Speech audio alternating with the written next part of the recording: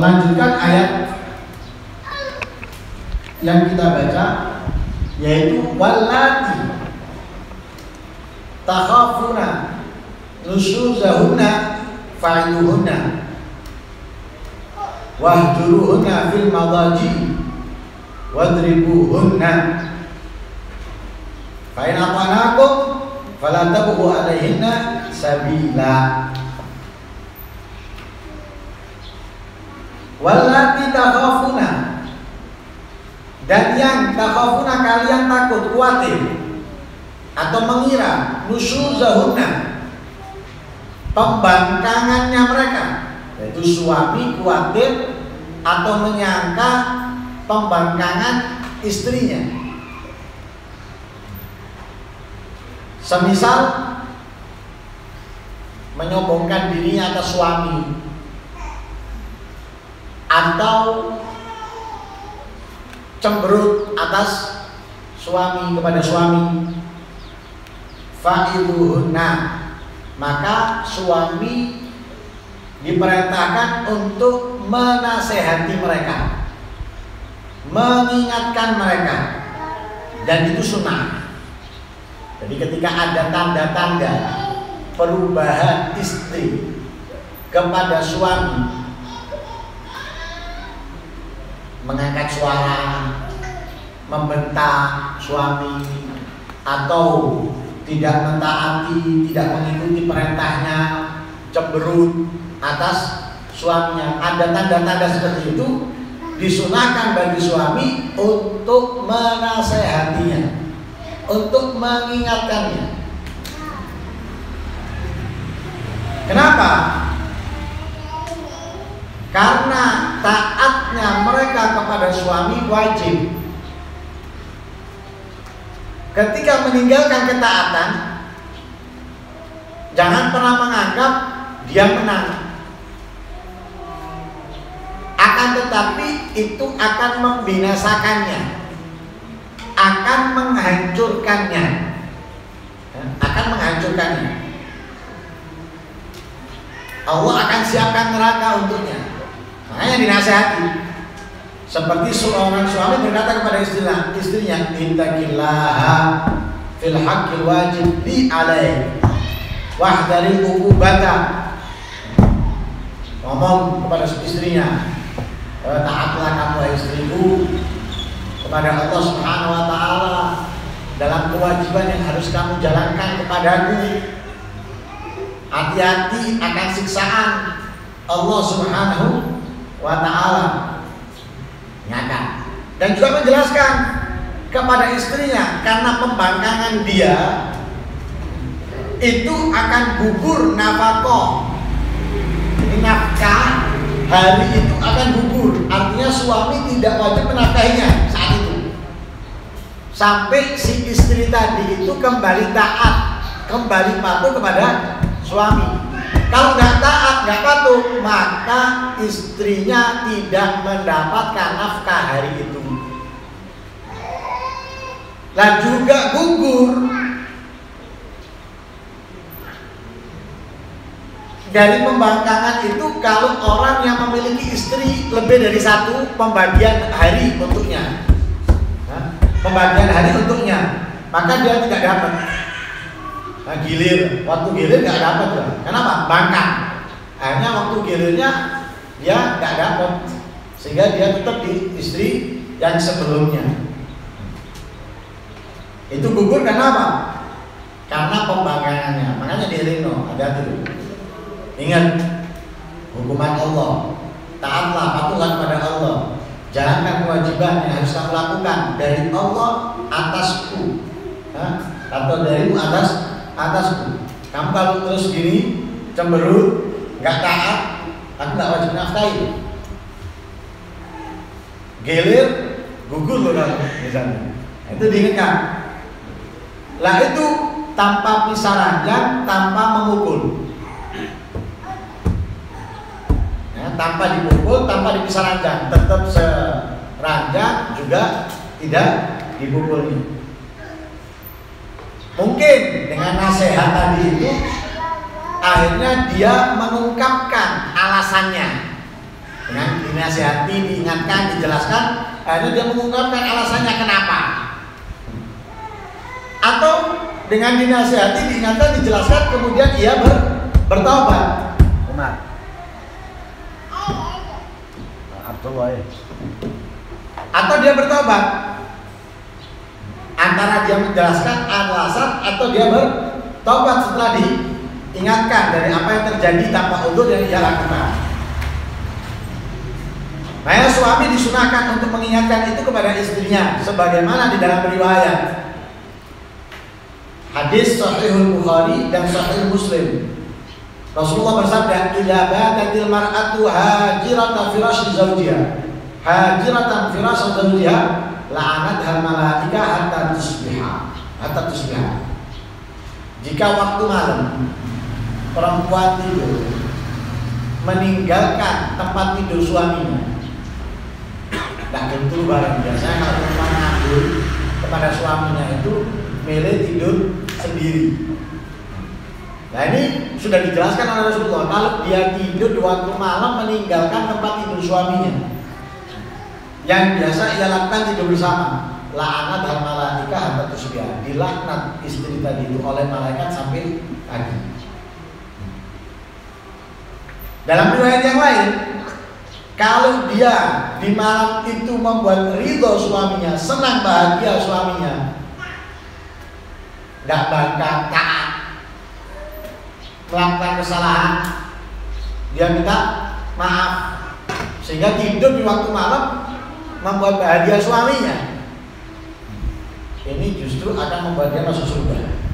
Ayu mamra'atin batat wa zawjuha radin anha dakhalatil jannah.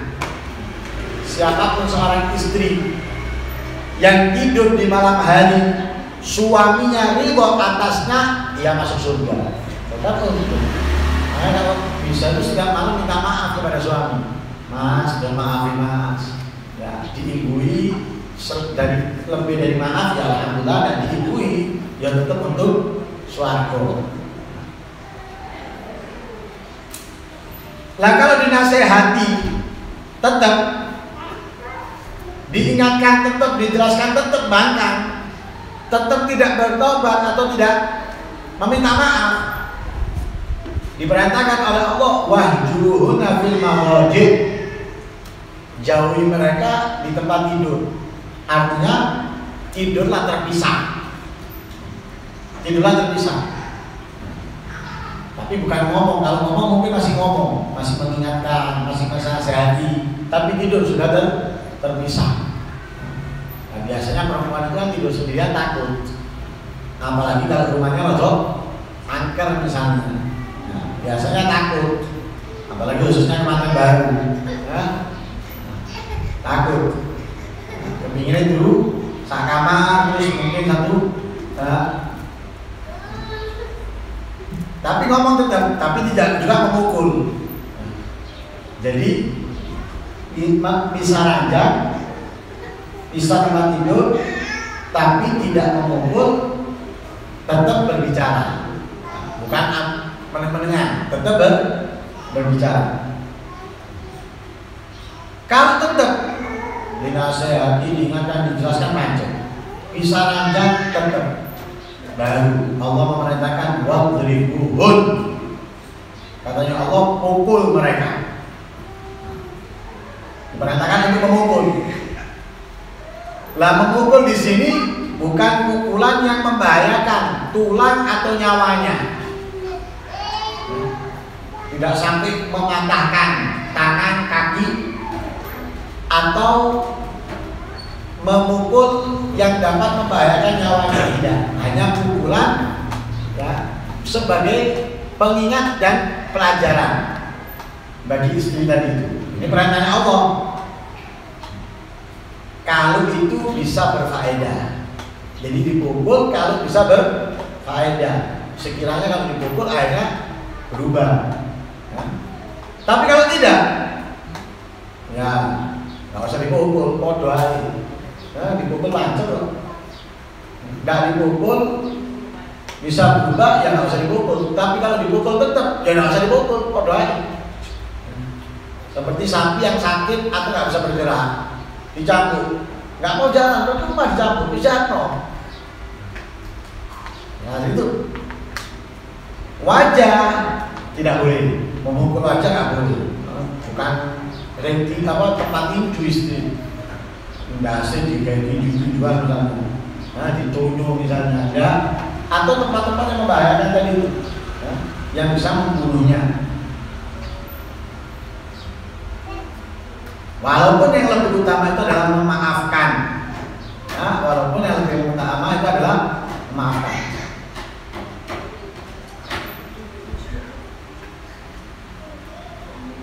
Lah, seorang suami ketika memukul istrinya itu maslahat linafsihi. Itu adalah kepentingan hajat untuk dirinya suami menjalankan apa yang diperintahkan oleh Allah Subhanahu wa taala.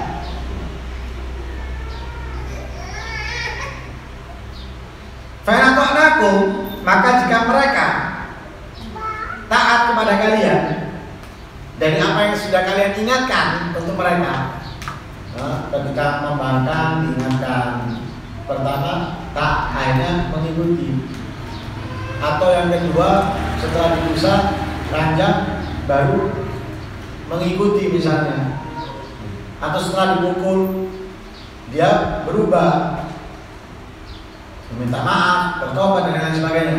Fala tabu alaina sabila.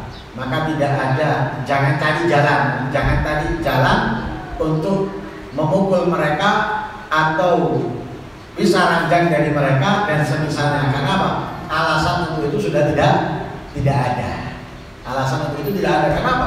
Sudah kembali taat Nah, kembali taat alias bertobat. Dan sebagaimana Allah tidak akan menghukum dan mengampuni dosa orang yang bertobat. Hatta itu minat nabi kamata Lamalah orang yang bertobat dari perbuatan dosa seperti orang yang tidak ber, berdosa. Maka ketika istri tadi itu sudah meminta maaf, kemudian sudah tidak melakukan hal-hal yang membuat suaminya marah, alias dia patuh dengan perintahnya, maka tidak ada jalan atau tidak ada alasan untuk kita memukulnya.